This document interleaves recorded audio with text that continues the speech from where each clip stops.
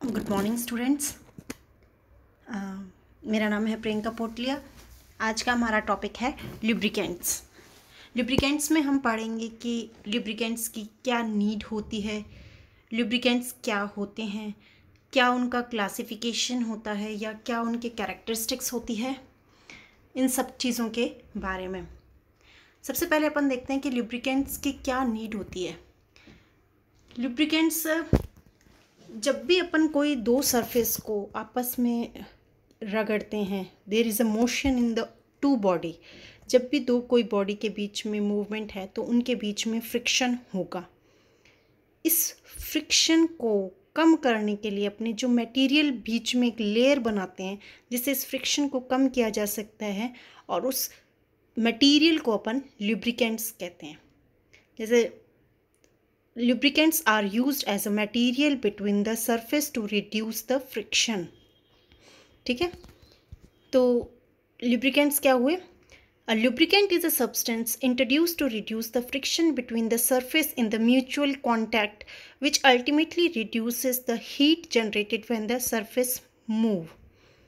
तो लुब्रिकेंट्स क्या हो गए उस हीट को कम करते हैं जो फ्रिक्शन से पैदा होती है और फ्रिक्शन से होने वाले लॉस जितने भी होते हैं उन सब लॉसेस को कवर करने के लिए अपन बीच में जो मूविंग पार्ट्स होते हैं, चाहे वो मशीन के हों, चाहे वो किसी, कहीं कोई, जहाँ पे भी फ्रिक्शन होता है, जहाँ पे अपन लिप्रिकेंट यूज़ लेते हैं, वहाँ पे अपन उसके फ्रिक्शन से होने वाले जो भी लॉसेस हैं, उनको कम करने के लिए अपन लिप्रिकेंट्स लेते हैं। तो the process of introducing lubricant जब आप इसको क्या कहते हैं? लिप्रिकेशन और इसके काम क्या क्या हुआ लिब्रिकेंट्स के काम होते हैं। फ़र्स्ट तो इसका फ़ंक्शन है to reduce the frictional resistance reduces wear and tear ये मशीन के पार्ट्स को टूटने फूटने से भी बचाता है फ्रिक्शन को कम करता है और सरफेस का उसकी शेप को डिफॉर्मेट होने से भी बचाता है।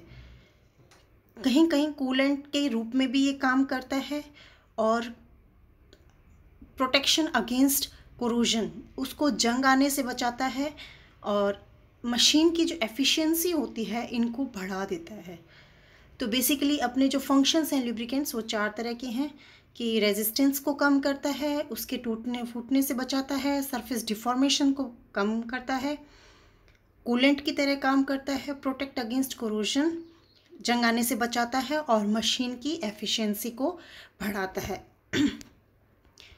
नेक्स्ट है लुब्रिकेंट्स को क्लासिफाइड करते हैं अपन तीन पार्ट्स में। Liquid lubricant semi solid lubricant या सॉलिड लुब्रिकेंट लिक्विड लुब्रिकेंट क्या होते हैं? Lubricating oil reduce friction and wear between two moving metallic surface by providing continuous fluid film in between the surface ये liquid होते हैं। इनका जो स्टेट होता है वो लिक्विड होता है। ठीक है? और ज़्यादातर अपन जो यूज़ करते हैं, वो लिक्विड ही यूज़ करते हैं।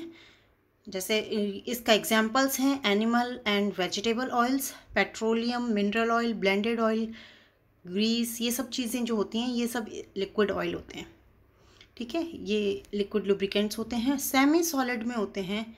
Grease is a semi solid lubricant obtained by thickening liquid lubricating oil through the addition of a metallic soap. Grease को कैसे बनाते हैं? ग्रीस को अपन जो ऑयल होता है, उसके अंदर मेटेलिक सोप को धीरे धीरे ऐड करते हैं, जिससे ग्रीस बनती है। और ग्रीस एक सेमी सॉलिड लुब्रिकेंट है, ठीक है? तो टाइप ऑफ़ ग्रीस होती हैं सोडा बेस होती है लाइम बेस होती है lithium soap barium soap depend upon the soap किस तरह की आपकी सोप है, उसी तरह की आपकी ग्रीस होती है, क्योंकि इसमें अपन क्या करते हैं मेटेलिक सोप की एडिशन करते हैं। ग्रीस तो आप सब लोग जानते ही हैं। फिर आता है सॉलिड लिप्रिकेंट सॉलिड लिप्रिकेंट जो होते हैं, इनकी स्टेट सॉलिड होती हैं। और इनका काम होता है operating temperature and load is too high Contamination of the lubricating oil or grease by the entry of dust or grit particles are avoided. जब अपन लिक्विड लेते हैं तो लिक्विड के अंदर क्या होता है धीरे धीरे मिट्टी और कुछ भी जो ग्रीट पार्टिकल्स जहाँ भी वो यूज़ होते हैं, वहाँ से कुछ पार्टिकल्स उसके अंदर एब्जॉर्ब हो जाते हैं, जिससे क्या वो होता है कि वो फ्रिक खुद ही एक फ्रिक्शन क्रिएट करने लग जाता है। तो उन सब चीज़ों को बचाने, उन सब चीज़ों को दूर करने के लिए अपन क्या कहते हैं सॉलिड लुब्रिकेंट लेकिन सॉलिड लुब्रिकेंट को अपन हर जगह नहीं यूज़ कर सकते हैं। इसकी कुछ स्पेसिफिक जगह ही होती है जहाँ पे अपन इनको यूज़ करते हैं हैवी मशीन्स के बीच में यूज़ करते हैं, जैसे इसको अपन। फिर combustible lubricants must be avoided graphite and molybdenum disulphide are the widely used solid lubricant और जो सबसे ज़्यादा यूज़ होते हैं, वो होते हैं ग्रेफाइट और मोलिबेडनम डाइसल्फाइड ठीक है? अब characteristics of a lubricant lubricant की कैरेक्टरिस्टिक क्या होती है? इसका बॉइलिंग पॉइंट हाई होना चाहिए और इसका लो वेपर प्रेशर होना चाहिए। बॉइलिंग पॉइंट हाई हाई का क्या मतलब है? जैसे दो मशीन आपस में जब मूव करती हैं तो फ्रिक्शन की वजह से हीट प्रोड्यूस होती है। यदि अपने लिब्रिकेंट का बॉइलिंग पॉइंट कम होगा तो वो वहाँ से इवेपरेट हो जाएगा। तो इवेपरेट नहीं होना चाहिए। इसके लिए अपन क्या करते हैं लिब्रिकेंट का बॉइलिंग पॉइंट जो होता है, वो हाई लेते हैं और उसका वेपर प्रेशर कम होना चाहिए, ताकि वो प्रेशर को एब्जॉर्ब कर सके।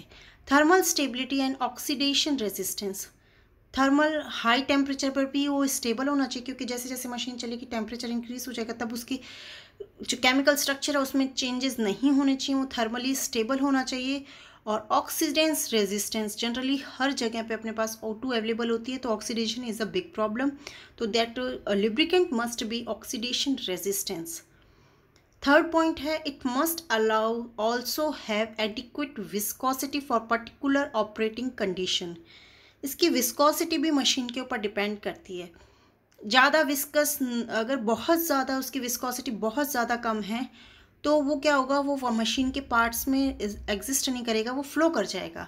तो एडिक्वेट उसकी जो मशीन के हिसाब से उसकी जो अपन जो भी लिब्रिकेंट लेते हैं, उसकी विस्कोसिटी ठीक नॉर्म इतनी तो होनी चाहिए कि वो मशीन के पार्ट्स में वहाँ टिक सके और आराम से मशीन के पार्ट्स भी मूव हो सकें। तो विस्कोसिटी भी बहुत ज़्यादा उसकी एडिक्वेट होनी बहुत ज़्यादा ज़रूरी है। The freezing point must be low उसका फ्रीजिंग पॉइंट बहुत कम होना चाहिए।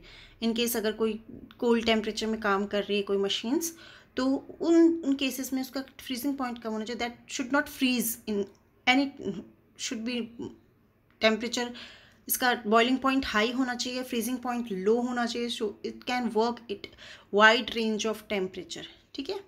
It must also have non corrosive property इसकी इसकी वजह से कभी जंग नहीं होना चाहिए। So so it should have non corrosive property ठीक है? ये कोरोजन बचाने के लिए होता है मशीन्स में तो इसमें खुद में कोरोजन नहीं होना चाहिए। तो ये इस, इसकी ये जो प्रॉपर्टीज़ हैं ये हर लुब्रिकेंट्स में अपन ऑब्ज़र्व करते हैं तभी उस लुब्रिकेंट को अपन उस मशीन में काम में लेते हैं। तो जो अपन ने पीछे एग्जाम्पल्स देखे हैं ये सब उनकी विशेष प्रॉपर्टीज़ हैं और इनको ध्यान में रख के ही अपन लिब्रिकेंट्स बनाते हैं। तो एग्ज़ाम में अगर आता है तो ये पॉइंट सारे के सारे आपको डिस्क्राइब करने हैं।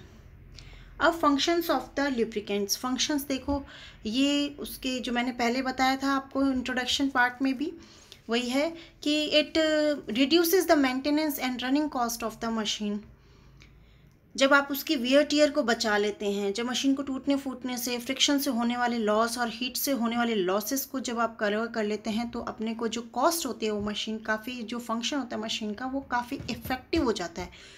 ठीक है? It reduces unsmooth relative motion of the moving surface कई बार मशीन के पार्ट्स ग्रीस डालने से जैसे अपन मशीन भी होती है अपनी जिस कपड़े सिलाई वाली जो अपन रेगुलर यूज़ में लेते हैं जब अगर आप उसमें ऑयलिंग नहीं करते हैं तो बहुत हार्ड हो जाती है। तो इससे क्या फ्रिक्शन बहुत ज़्यादा हो जाता है तो इट जब अपन लिब्रिकेंट ऑयल डालते हैं तो वो स्मूथ हो जाती है। सेम अपन फैक्ट्रीज़ वगैरह में भी होती है तो वहाँ पे भी जब अपन लिब्रिकेंट डालते हैं तो, तो मशीन के अपने एफिशिएंसी बढ़ जाती है। दूसरी उससे स्मूथली वो काम करने लगती है। Loss of energy in the form of heat that it is act as a coolant वो वहाँ पे कूलेंट की तरह काम करती है तो जो हीट से होने वाले लॉसेस होते हैं, वो बहुत सारे अपने वहाँ पे बच जाते हैं। It reduces waste of energy so that efficiency of the machine is increase और जैसे जैसे अपन मशीन की एफिशिएंसी बढ़ा देते हैं तो अपनी जो भी अपन फ्यूल यूज़ करते हैं या एफिशिएंसी होती है, वो सब वेस्ट ऑफ़ एनर्जी जो होती है, वो बचा लेते हैं। तो ऐसा होता है। लिप्रिकेंट्स में अपन को एफिशिएंसी मशीन की काफ़ी ज़्यादा बढ़ जाती है। इट मिनिमाइजेज द कोरूजन तो ये सब अपने लुब्रिकेंट्स के बेसिक फ़ंक्शंस हैं। हर लुब्रिकेंट जहाँ पे भी अपन ऐड करते हैं, उसके ये सब फ़ंक्शंस वो सारे के सारे फॉलो करते हैं। फिर है टाइप ऑफ़ लुब्रिकेंट लुब्रिकेंट जो होते हैं, वो कहीं कहीं थिक फ़िल्म की तरह यूज़ होते हैं और कहीं पे वो थिन फ़िल्म की तरह काम में करते हैं। ठीक है? तो इनको, इनके टाइप पे थिक और थिन के बेसिस पे दो पार्ट्स में डिवाइड करते हैं थिक फ़िल्म और फ्लूड फ़िल्म या फिर थिन फ़िल्म और बाउंडेड लुब्रिकेशन ठीक है? इन दो पार्ट्स को अगर अपन डिटेल में पढ़ें तो ये है कि थिक फ़िल्म लुब्रिकेशन में क्या होता है? इसको अपन हाइड्रोडायनामिक और फ्लूड फ़िल्म लुब्रिकेशन भी बोलते हैं। द मूविंग और sliding surface are separated from each other by a bulk lubricant film इसकी थिकनेस बहुत हाई होती है, ठीक है? तो ये क्या करता है कि, इसलिए इसको बोलते हैं थिक फ़िल्म इसकी थिकनेस एटलीस्ट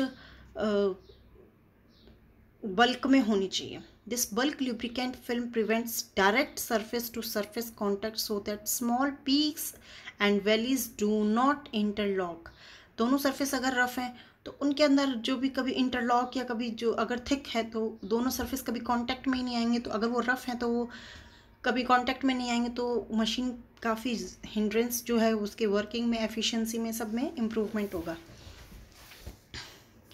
थिन फ़िल्म क्या होती है? ये जो लुब्रिकेंट्स होते हैं, ये पतली सी जैसे लेयर की तरह अपन ऐड करते हैं, जैसे अपनी नॉर्मली जो अपन काम करते हैं मशीन्स घरों में जितनी भी जो वहाँ पे अपन थिन फ़िल्म ही ऐड करते हैं। जैसे अपन गेट के अंदर भी ग्रीस करते हैं, अपने हर जगह मशीन जहाँ पे अपने व्हीकल्स में मशीन है, अपने सिलाई मशीन में भी अपन को लिब्रिकेशन करना पड़ता है, वहाँ पे सब अपन क्या करते हैं थिन फ़िल्म लिब्रिकेशन करते हैं। वहाँ पे मशीन के जो पार्ट्स होते हैं वो स्मूथ होते हैं बट देर फंक्शनिंग उनकी एफिशिएंसी बढ़ाने के लिए अपन क्या करते हैं, और फ्रिक्शन को कम करने के लिए अपन वहाँ पे थिन फ़िल्म का यूज़ करते हैं, ना कि थिक फ़िल्म का। तो थिन फ़िल्म क्या होती है बाउंड्री एक पतली सी लेयर की तरह होती है। इसलिए इसको बोलते हैं thin film when the lubricant is not viscous enough to generate a film of sufficient thickness to separate the surface under heavy loads friction में yet be reduced with the proper lubricant ठीक है? Lubricant use for boundary lubrication should have high viscosity intense और इसमें जो अपन use लेते हैं organic oil vegetable oil graphite and mineral oils etcetera ठीक है? फिर इनके एप्लीकेशंस हैं कुछ। ये व्हीकल्स में यूज़ होते हैं गेयर बॉक्स फ्लूड में होते हैं, hydraulic fuel, air compressor, bearing and circulating system oil, refrigerator, compressor, steam and gas turbine, piston engine और आप बहुत सारे जो होते हैं अपने आसपास के अपन देख सकते हैं। ठीक है बच्चों, अब नेक्स्ट में अपन इनके कुछ स्पेसिक फ्लैश पॉइंट आज का लेक्चर यहीं तक। नेक्स्ट लेक्चर में अपन इनके flash point fire point pour point इन सब के बारे में डिस्कस करेंगे। Thank you.